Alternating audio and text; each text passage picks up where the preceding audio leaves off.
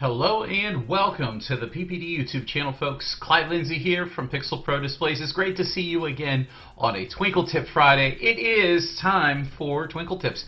And not only that, it, there's a lot of really interesting things that have just landed in the most recent two versions of xLights. Now, in version 2024.14 uh, and 2024.15, both of those releases are packed full with a lot of great things that I want to share. Uh, three of the things that are in these releases. One thing that I really haven't talked about yet, so I'm going to get right into it. So stay tuned. We'll get started.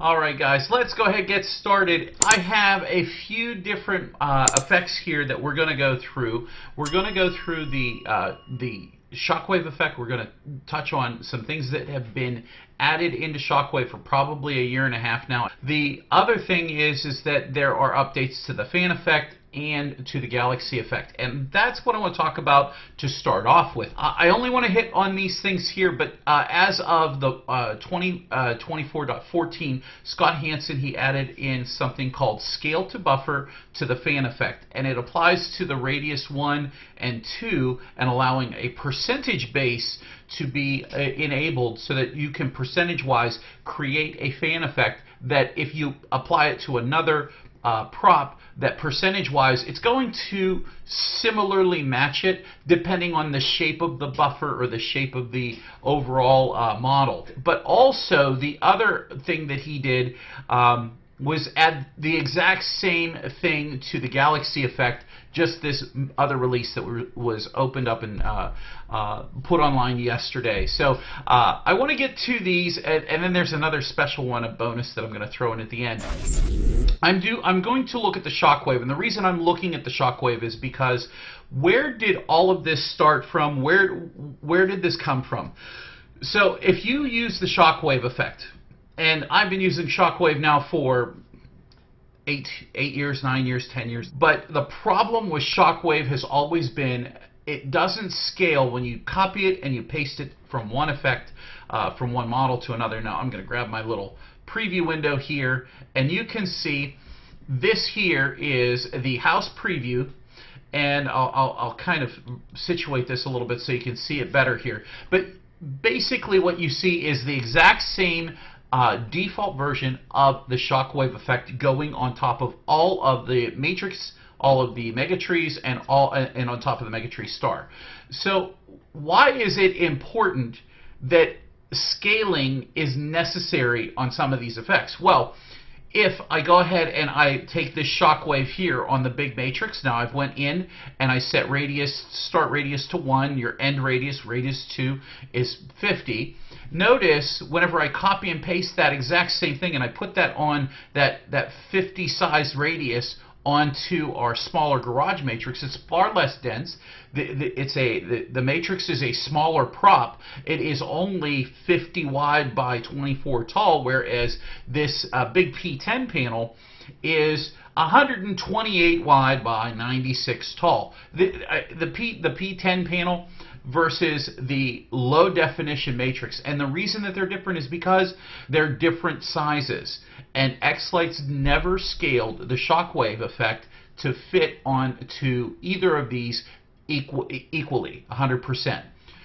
There were there are some workarounds if you're working with groups, and and what I specifically mean is, if you have a group, and I'll, I'll go ahead and do this, and I go to let's go to the snowflakes, We'll go to the snowflakes, all the snowflakes, and I'll go ahead and put a shockwave over here, okay? And, and you can see it going on these. And I'm going to come over here and I'm going to do per model default. So if you notice, the shockwave looks like it's growing out and it's getting almost to the edge of these larger snowflakes or these smaller snowflakes here, the higher depth, but they're not. It's not going all the way to the edge here for this one.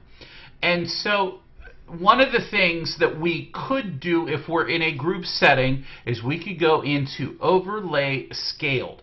And what overlay scaled does is it scales the, it finds all of the buffers in all of the props and it says, hey, here's the biggest one. Let's use this to scale with. This is as close as you can get this shockwave to look equally across multiple models in the same group, even though the grid size, the actual physical pixel size by size, is different between all of those different snowflakes or spinners or whatever other items are. All right, so what we had to do in the past was we had to take the time to look at the different versions of, uh, of the effect.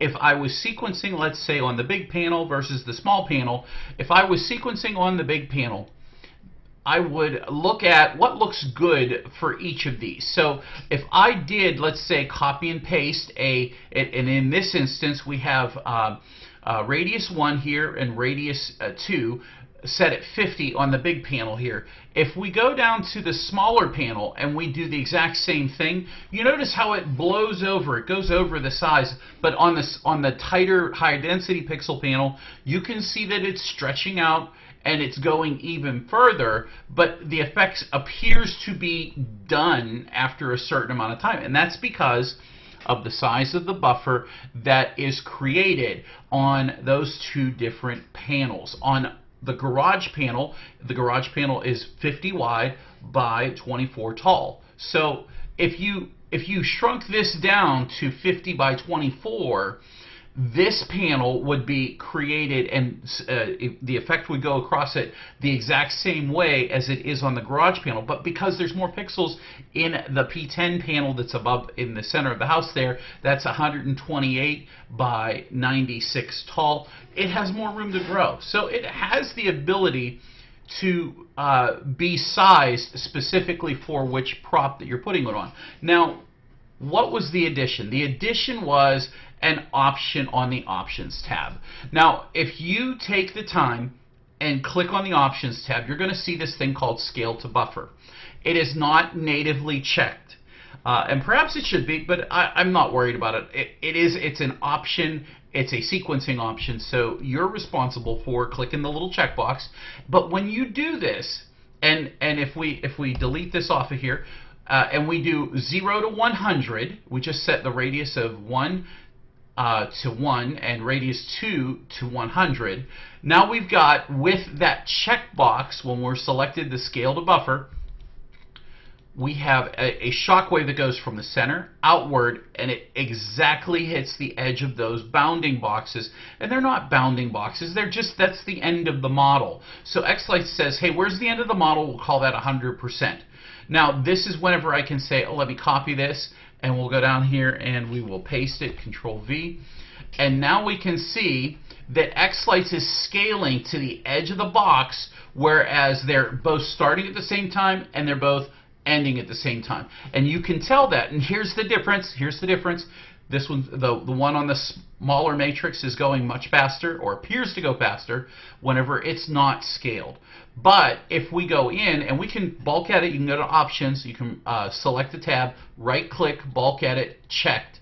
And now at 50%, at 50% because this says radius 1 is 1, radius 2 is 50, that's 50% of the size of the buffer. It's going all the way out to what that 50 percentage base would be, and it's ending itself there.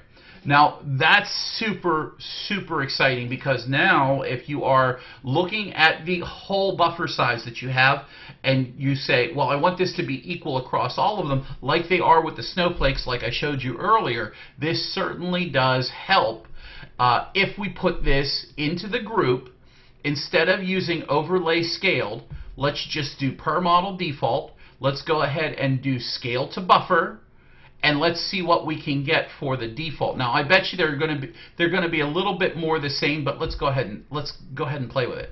Uh, let's go uh, 75. Well, let's go to 100%, 100, and let's make it a little thicker because that's uh, not really that thick. There we go. So here we go and they all look like they scale. So this is something that you guys definitely want to be playing with going forward. Now, why is this helpful? Well, because guess what? The fan effect has been the exact same, uh, has had the exact same issue for the past well, ever since Gil wrote it. Um, at least I think Gil wrote it. I think Gil wrote the fan effect to import the uh, SUP files from Superstar Sequencer, the uh, the fancy trees that uh, Holiday Sequences does that we have on our website.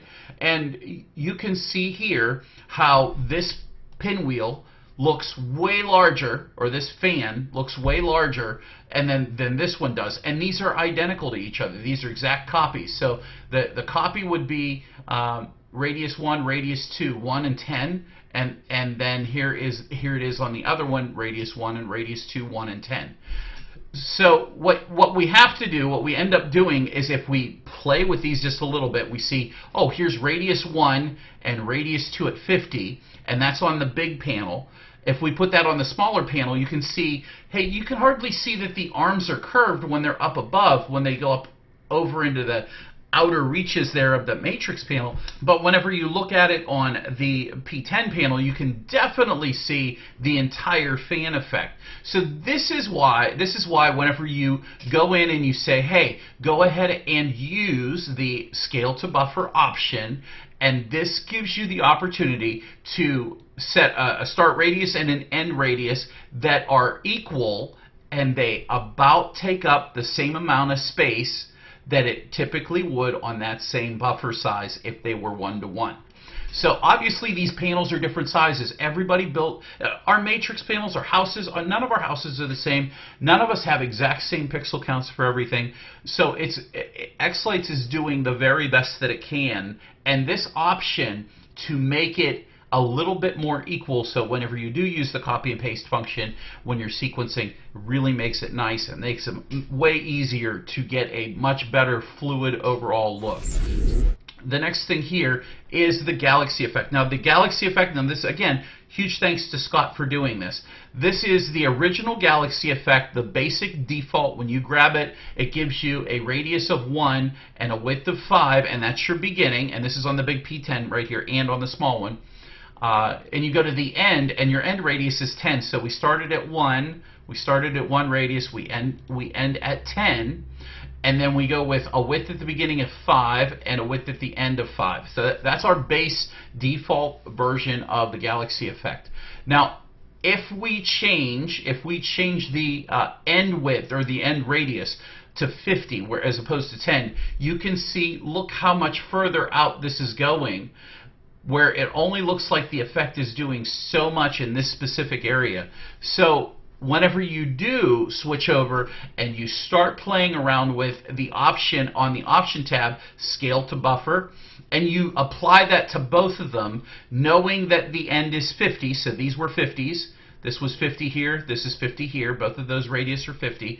We went back here and we have radius of 50 and it's the exact same effect. The only difference between these two is that this one here is bulk edited because you can go in and bulk edit. You can go to options, hover over it. If you have both of them selected, you can right click bulk edit and check or unchecked. So scale to buffer is a new thing. It's here to stay in these three effects. I don't know that um, I don't know of any of the other effects that really need something like this, but this is super helpful for a lot of you who are trying to get the same look. And uh, a huge thanks to Scott. Thank you, Scott. Well, now I want to switch gears and I want to move on to a different effect that has received a pretty nice update. And I, I really have to hand it to, uh, his name is uh, Brian Crawford, and I'm going to bring over the xLights notes uh, on the release notes, that is, Mr. Side Lights himself. Single strand effect, uh, additional, add additional fade types. Uh, Brian was in our Zoom room. He, he joins us on Tuesday nights and just a pleasant guy to just hang out with, chat with. And Brian has really gone out of his way. Now, at first, at first, I'll be honest, he showed this to me that something he was working on, and uh, he he wanted to add it in to do something different with the single strand effect, which by all rights, the single strand effect is probably one of the most powerful effects in xLights. But he came up with the idea to add different types of fades to the single strand effect. So I want to walk through just the basics of this. Uh, I don't want to spend a whole ton of time on this, but I want to give you like the, the really great bits and pieces just of this additional fade. See, we used to have a box that said, a checkbox that said right right above here it said 3D fade or 3D, and what that would do is that would turn the tail of the of the single strand uh, effect. It would turn the, the tail end of it to fade. And so what he's done though is, is he, he's changed it from um, he's changed it from from the head to add in three different types more, and that's from the tail head and tail in the middle. And I'm going to click on each one of these here and show you all three of them. So here is the matrix panel. We actually can do this right here on the matrix panel. Um, this is this is what it, it, would normally be the old 3D version and he has called it or it's labeled from the head. So from the head the head is solid the tail is faded.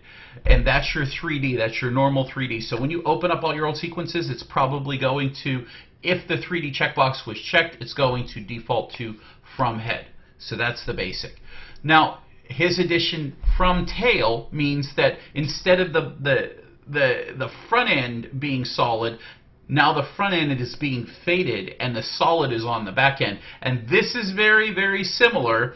And I'll go ahead and throw it on here. I'll put I'll put the um, the spiral effect down here. Whoop, um, I'll put the spiral effect and do 3D and see how the front end of the spiral is 3D faded on the one side. Well, and then the solid part of it's on the back end. He's done the exact same thing. He's reversed the fade between those two different things. So you can see the fade to the front as the leading edge. Now, the next one is head and tail. So basically, what he's done is something very, very cool and it mimics an effect that is already in another uh, xLights effect, which is the pinwheel effect. If we click on the pinwheel effect, you have a 3D inverted. So between these two, this is a really interesting option where the center is faded. There's also in in the color wash, see, because I get uh, sidetracked, but I want to show you. You put a color wash down here, and you do a horizontal fade, and you go to reverse fades and it's the same thing. So, so Brian really stretched out and came up with some very interesting things that could be added into xLights. Now, another thing that I think is going to be a little bit fun to play with is using this along with adding some blur in. So I think I think if you add some blur, you have have a little bit of blur. Now everything kind of gets blurred, and I think that's gonna that's really gonna be a lot of fun to play with whenever we're sequencing. Now uh, the the last one is the middle, and here is the middle version. Uh, you have number. You have you have. I put two chases on here. I made the chase size at 19. Here's 33. Just blew it up a little bit. You could have as many on there as you want. There's three of them. And basically, what what Brian has done is he's taken the center is still solid, but the lead in and the end, the tail end of the uh, bar that goes across the screen, the strand is now faded. So you have a very interesting effect which mimics, once again, the color wash where you have your horizontal fade. And uh, you know you can play with this here. I'll go ahead and do that. See, see, there we go. So that that's kind of the same thing. That's that's a that, that's exactly what he did. But he made it so that it's built into the effects, and that's really really cool. Well, guys, that's everything I have for you this week. I really hope that you enjoyed some of these great options. If you did, give us a huge thumbs up down below. Don't forget to hit the bell for notifications and hit the subscribe button because you never know when we're going to put something out on the PPD YouTube channel. Number of things coming up. This week is going to be another PPD webinar. We have something special planned. If you have suggestions for the webinar, please put those in the comments below. It's very important that we produce the content that you're really looking for. As a matter of fact, I got some great suggestions last week. I think we're going to have a really good webinar this coming up week. And you are all welcome to join us every week, Tuesdays at 8.30 p.m. Eastern Time. We have the Zoom room open, the PPD Zoom room. Links are down in the video description below, so you can always join us. And if you appreciate the things that we do here at Pixel Pro Displays, consider joining the PPD Sequence Club, where you get one amazing sequence each and every month. We do a brand new one to the store. You get a choice of three. We call those the triple play sequences. And those sequences you get to import into your layout. We spent all year sequencing a new song every month. We spend all year programming your show for you, so you never have to do it yourself. Guys, have a wonderful evening. Thank you for joining us. If you want to get cool shirts just like this, go uh, head on down here. The link's down in the video description for our awesome uh, Titans of Twinkle, and this is our Pixel Me This t-shirt. This one's so soft. I love this shirt. Love this shirt. All right, guys, that's everything from me. Thank you for joining me. It's been wonderful having you. We'll see you next week, and we'll see you in the next video. Take care, and goodbye for now.